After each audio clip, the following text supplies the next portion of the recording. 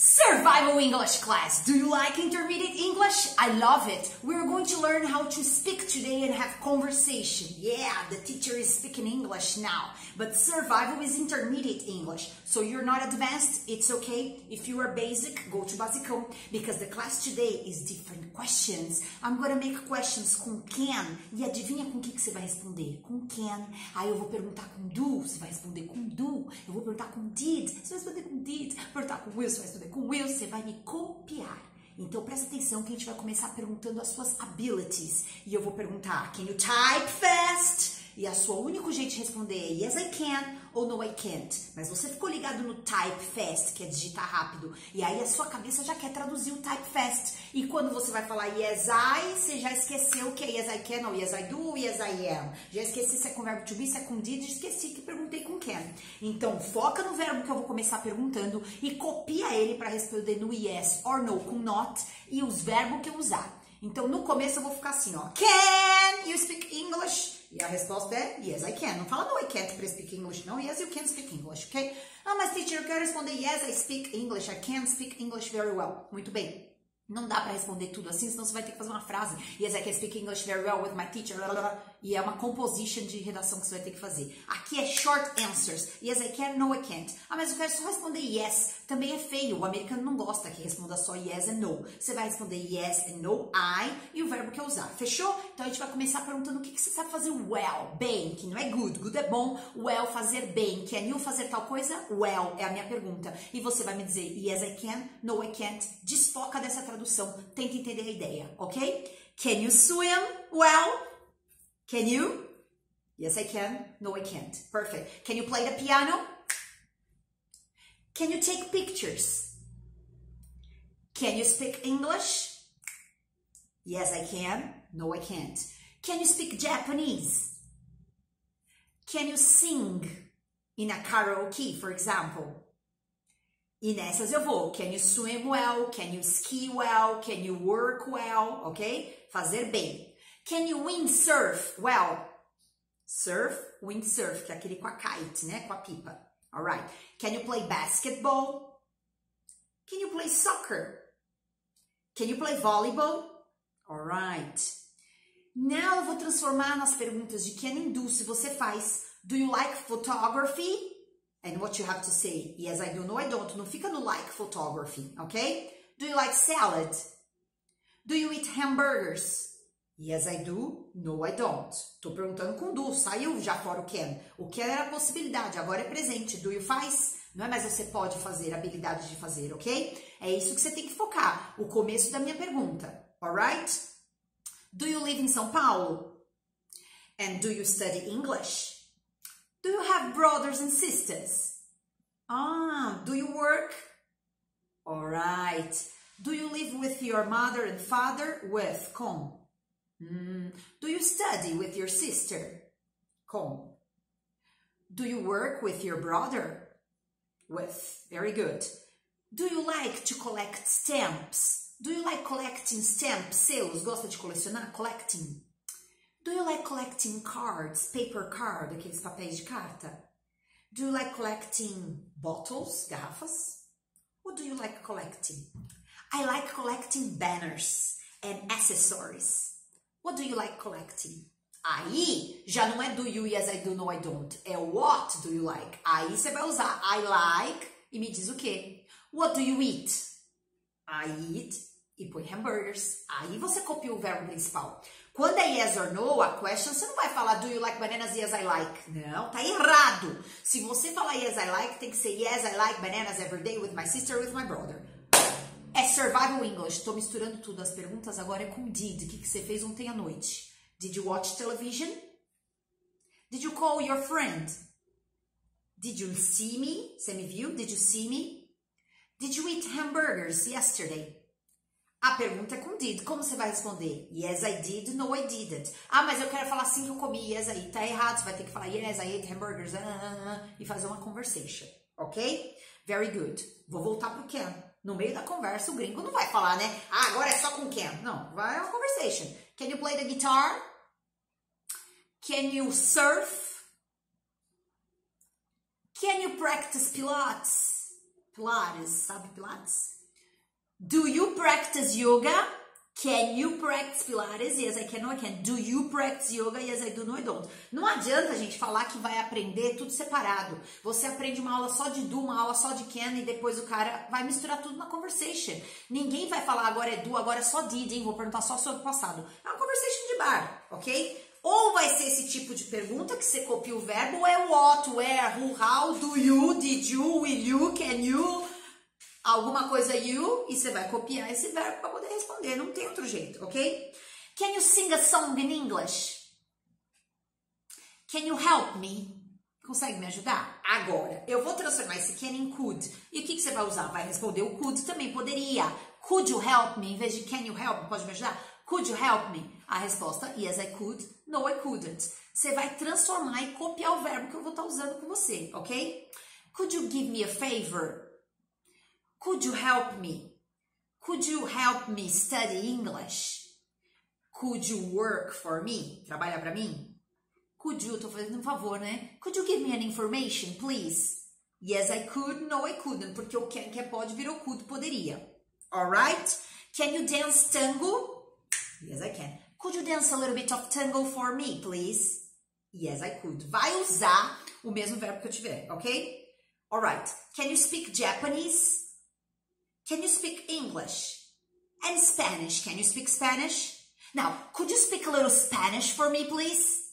Yes, I could. No, I couldn't. Percebe? Agora eu vou transformar essas perguntas em do. Se você faz do you speak English, você não vai responder yes, I can. Yes, I do. Eu explico, né? I speak English. O problema aqui em português é você explica, eu explico, você laica, eu laico, você worka, eu worko. E você fica focado nesse verbo final. O que nós estamos ensinando vocês aqui é esquecer esse verbo final, que é português, e pegar o verbo inicial para responder, que é inglês, alemão e tantas outras línguas. Você vai condicionar a sua mente a prestar atenção no começo da minha frase e copiar o verbo. Vou misturar tudo agora.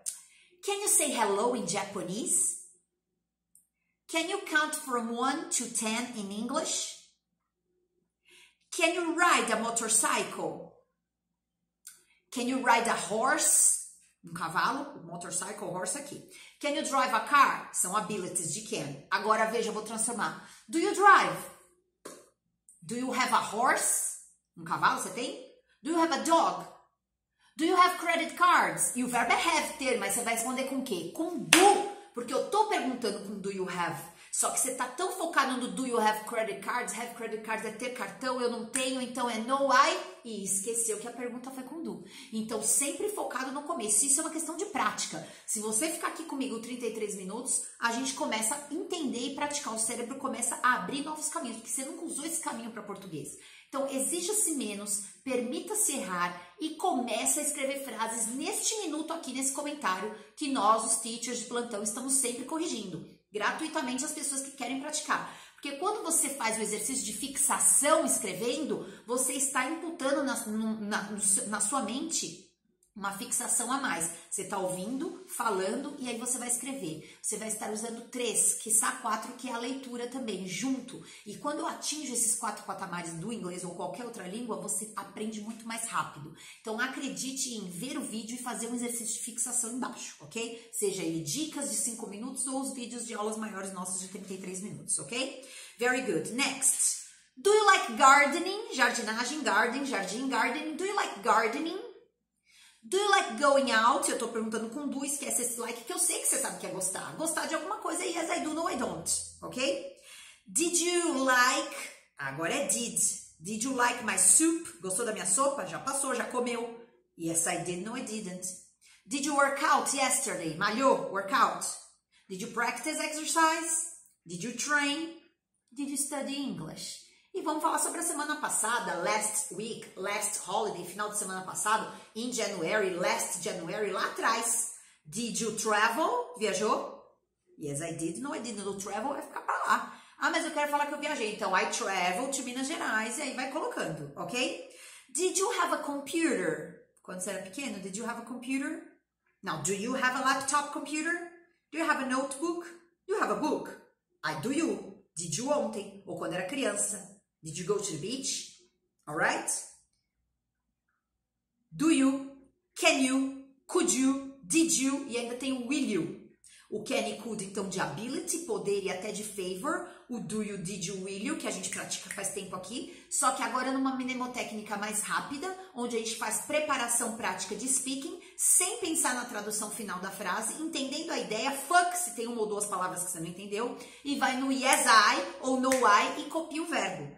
Tenta agora responder tudo na negativa. Do you have a house? No, I don't. Did you study? No, I didn't. Can you play? No, I can't. Could you help me? No, I couldn't. Aprende a dizer não. Aprende a dizer não agora, então, nesse exercício. Vou fazer várias perguntas, você vai falar no, I don't, se eu perguntar com do. No, I didn't, se eu perguntar com did. No, I won't, se eu perguntar com will. Will not, I won't. No, I shouldn't, se eu perguntar com should. Você deveria? Você vai sempre pegar o meu verbo inicial e vai por not. No, I, o verbo que eu usei, not. Vamos ver, então. Do you have a girlfriend? No, I don't.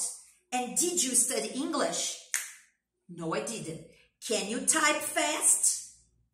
No, I can't. Could you help me, please? Sorry, no, I couldn't. Aprenda a dizer não. É o seu limite. É onde você, até onde você pode ir, ok? Com gentileza. Gentleness and kindness. Com gentileza e carinho. Você pode aprender a dizer não. Então, vambora. Did you study for the test? No, I okay. Didn't. Did you see Mary? Você viu a Mary? Did you hear that? Você ouviu isso? Ok. Did you come here earlier? Já veio aqui antes, mais cedo? Did you come here earlier? Vem de early, cedo, contrário de late, tarde, mais cedo, earlier. Agora, você não entendeu o earlier do cara, né? Did you come here? Did you come here? Did you come here earlier? No, I didn't. Ouvi, ok? Então não precisa entender palavra por palavra para ter o controle total, como você deve ter o controle do seu tempo, da sua vida, do seu marido, da sua saúde. Chega de querer controlar. Quando você quer controlar a língua, a língua não sai. Você tem que desinibir isso aí, deixando de controlar. Relax. Toma uma pinga para poder ajudar você. Eu não tomo pinga, óbvio, não bebo, não uso drogas, mas a minha motivation é de ver vocês falarem. Então, vamos embora fazer essa ping-pong de questions and answers que vai ajudar você. Agora, tudo com yes. Eu vou perguntar e você vai responder com yes. Tá preparado? Usa yes, I e o verbo que eu usar. Do you have a crush? Do you like spaghetti? Do you study English? É todo dia, porque do you você faz, né? And yesterday, did you watch TV? Did you call your friend? Did you study English? Did you enter in internet? Did you surf in internet? Did you adjust the time? Did you see the moon? Viu a lua? Did you connect with God? Alright. Então agora, can you? Yes, I can. Você fez yes, I do. Yes, I did. Agora yes, I can. Só que é rápido. Can you dance tango? Can you dance rumba? Can you speak Japanese? No, I can't, mas põe yes, I can para tudo só para afirmar, ok? Can you work well? Bem, can you study well? Could you help me? Should you go? Você deveria ir? Should I study for medical doctor school? Should I do this course? Should I reply the email? Deveria. Eu tô perguntando com should, você vai responder com should. Yes, you should. No, you shouldn't. Yes, I should. No, I shouldn't. Ok? Vou trocar agora para will, future. Will you dance tomorrow? Will you call me? Will you visit me?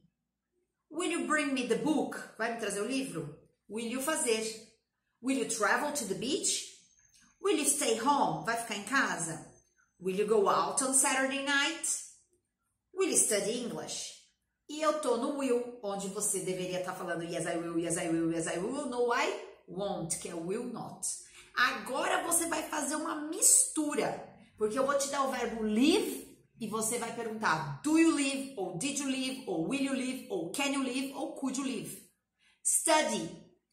Do you study? Did you study? Will you study? Can you study? Pode. Could you study? Poderia. Should you study? Deveria. Can you? Could you? Should you? Can you, could you, should you? Can you pode, could you podia, should you deveria. Só que todos eles estão na frente do you, porque é pergunta, meu filho. Então agora eu vou te dar o verbo speak. Speak English, ou mesmo sem complemento, só speak. Do you speak? Did you speak? Will you speak? Vai explicar? E pode explicar? Can you speak? Could you speak? Should you speak? Deveria explicar? Can you? Could you? Should you? Nossa, teacher, a pegada é do ladrão. O verbo então é serve. Can you serve? Could you serve? Should you serve? Work. Can you work? Could you work? Should you work? Deveria trabalhar? O que ocorre nas escolas jamais vão te ensinar isso tudo junto, porque eles não querem que você tenha o controle da língua. Pede para o seu professor particular de inglês falar, me dá tudo junto, presente, passado, futuro e todos os modais. Can, could, will, would, shall, should. E vamos ver se eles dão. Não dão, porque eles querem dar uma aula de cada modal e nunca todos juntos, para você não ter o controle sobre todos eles. O que nós estamos fazendo é elevando todos os alunos num prédio, mostrando um mapa teórico. E ao descer, trabalhamos com diferentes verbos. Você fala, teacher, é mágica? É técnica de metodologia, funciona com certeza. É uma questão de tempo, 33 minutos, duas a três vezes por semana, você aqui comigo. Ou nas mini dicas de 5 minutos, se você quiser um milagre em 6 anos para aprender a falar, como se fosse uma escola, né? Nós estamos trazendo uma velocidade que você aprenderia em horas e horas de escola tradicional dentro de aulas mais curtas. Mas adianta só ver e ver que brinco que eu tô hoje? Não. Você tem que escrever os comentários aqui embaixo, meu filho. Porque quando você escreve as frases, eu consigo te corrigir e ver onde é que tá pegando. Tá pegando no erro do complemento, tá esquecendo de pôr a book, né? Read, não é só ler, né? Read a book, read an article, read a magazine. Ler o quê, né? Write o quê? A letter, write o quê? Speak o quê? English, Spanish, Japanese. Os complementos. Se o seu erro tá nas pessoas, aí you, we, he, they, nós, né? We ou se está no verbo em si, ou se o problema é com pergunta. Porque você acha que nas escolas eles vão ensinar você a perguntar com todos os tipos de verbo? Não, eles ensinam você a responder, a perguntar não pode. Percebe? O verbo é like. Do you, did you, will you, can you, could you, should you, deveria. Can you, could you, should you, deveria. Pode, poderia, deveria. Pode, poderia, deveria. É triangle. Okay? So now the verb is Ta-da! Cook. Should you cook? Can you cook? Should you cook? Can you, could you, should? Juntinhos. Tem sempre na frente para perguntar. Ah, teacher, esses yes or no eu já sei. Então tá faltando colocar o double age na frente. Agora você pode começar a perguntar com what do you, what did you, what will you, what can you, what could you, what will you, what should you o do you, did you, will you, agora com what na frente, depois com where, onde, depois com when, o N de quando, depois com why, que é o mineirinho do porquê, e você vai trocando o tipo de question. Perceba, se o verbo é love, amar, e você já sabe perguntar do you love, did you love, will you love, can you love, você pode amar, could you love, você poderia amar e vai, deveria amar, should you love. Você já sabe isso? Então agora vai para what. Ou who, quem? Who do you love? Who did you love? Who will you love? Who can you love? Quem você pode amar? Who could you love? E who should you love? Quem você deveria amar? Quem? Que é objeto? What? What do you love? What did you love? What will you love? What can you love? What could you love? What should you love? Gente, vai trocando os verbos. Ah, mas eu não gosto dessa mnemotécnica. Então você troca. Você pode colocar what, where, who, how, why, when, todos os tipos de double H, que são sete onde, por quê, quando, né? Como que é o how e vai trocando. How do you love? How did you love? Ou fica só no do you? Põe aí o verbo live, morar. Do you live? E fica where do you live? Why do you live? When do you live? E aí vai, where, when, how. Fica só, só do you live. Percebe? Então agora eu vou trabalhar só com did you eat, comeu. Então, what did you eat? Where did you eat? Why did you eat? Comer. Eu fico só do you eat. Então você escolhe que mnemotécnica você quer usar. Se é do you verbo puro, se é do you, did you, will you verbo igual, ou se quer trocar o verbo do you play, did you work, will you speak, aí é mais difícil. E se quer ficar só com what, só com where, só com I, só com N. É claro, gente, dentro da nossa plataforma o negócio é mais completo. Eu consigo trabalhar os slides, diferentes teachers, né? São duas, três aulas só nisso de conversation para deixar você bem seguro. Aqui eu tenho que fazer uma redução, mas se você quiser, você chega lá fazendo os comentários aqui, fazendo a gente corrigir para vocês, ok? 33 minutes de English com a Teacher, o Survival sai no ar de terças e quintas, normalmente na parte da tarde, no YouTube, que são aulas maiores, no Instagram não dá para postar aulas maiores. Depois essas aulas são cortadas pelo nosso editor e vai dicas para o Instagram, mas ao vivão é aqui no YouTube que a gente coloca e grava, ok? Se vocês quiserem futuramente participar do Motivational English, que é de segunda-feira, é um pouco mais avançado. E se tá difícil esse nível para você, basicam as quartas-feiras. Todos os dias tem aulas maiores. De sexta-feira eu guardo para perguntas e respostas e eu respondo as suas dúvidas, ok? Então o que, o que eu preciso agora? Que você coloque isso dentro da sua realidade. Traga verbos que tenham a ver com a sua realidade e que combine com o seu dia a dia. Por exemplo, prepare breakfast tem a ver com você? Porque se não tiver, não dá para usar. Fix a car, é, consertar um carro, tem a ver com você? Ótimo, então usa fix. O que, que você conserta na sua vida? Porque no meu caso, I don't fix the lights, não sei consertar nem a, a, a luz. Então você vai começar a trabalhar com, verbos que tem a ver com a sua realidade, ok? Nós já fizemos aqui mnemotécnicas com figuras. O pessoal pergunta, teacher, por que hoje você não trouxe figuras? Porque se eu ficar só na figura, você fica dependente dessa visualização para tradução. É ótimo, você não traduz. Só que estamos num nível mais avançado, isso é básico. Nós estamos num nível mais avançado, onde eu trago a palavra que eu imagino que você já saiba o que quer dizer. Mas se ainda tá difícil, tem que descer pro basicão de quarta. Depois você vem de terças e quintas no survival e vê que nível que tá melhor para você. Segundas é o Listening Comprehension Motivational Just in English for you to accurate your ear. Então, o que, que nós fizemos hoje? Trabalhamos com todos os tempos verbais do you, did you, will you, can you, could you, should you. Trabalhamos situações reais com verbos diferentes, até com complementos ou sem.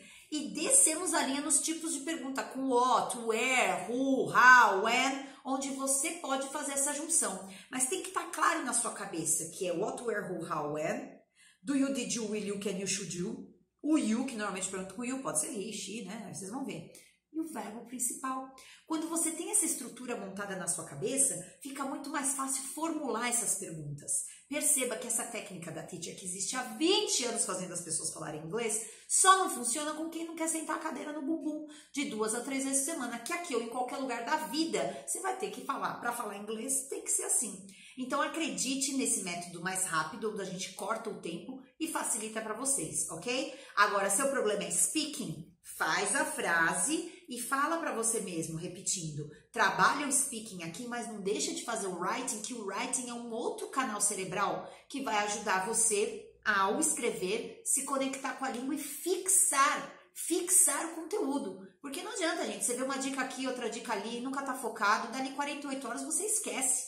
Se semana que vem você voltar aqui de novo, passou uma semana sem contato com a língua, eu vou te perguntar, isso, uh, uh, uh, parece que foi uma maconha, porque nem pensa direito. Aquela, aquele delay, sabe aquela pessoa que retarda um pouco o timing? Tem a ver, né, com intoxicação. Então, é, é aquele coisa pé, pé, papum, esse capum, é, é tradução. Levantou o olho, ah, tô traduzindo. Então foca nesse conteúdo que vocês vão entender melhor. E se tá difícil, lá na playlist do nosso YouTube, você vai lá, playlist, vai ter todos os basicões que eu já gravei, todos os survivals que eu já gravei, todos os motivationals. Você escolhe pelo tema que funciona com você, manda suas dúvidas, fala para mim que aula você quer que eu grave, que eu ensino para você o que demora lá 3, 4 aulas, 2, 3 livros, aqui ó, uma cajadada só. Nós não temos medo e batemos no peito. Fala para você, I will speak English. Thank you very much, it was a pleasure. Have a great week. See you tomorrow. Quarta-feira tem o quê? Basicão. Bye bye.